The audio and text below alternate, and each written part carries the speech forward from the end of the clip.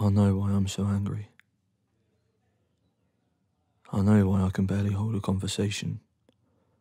And I know I don't want it anymore. I don't want to lose touch.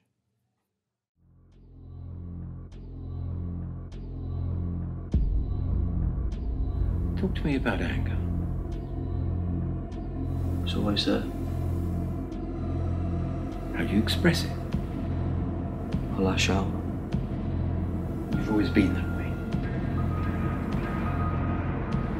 And you've never previously thought to address these issues. I haven't had the motivation. And you do now. Gotta do something.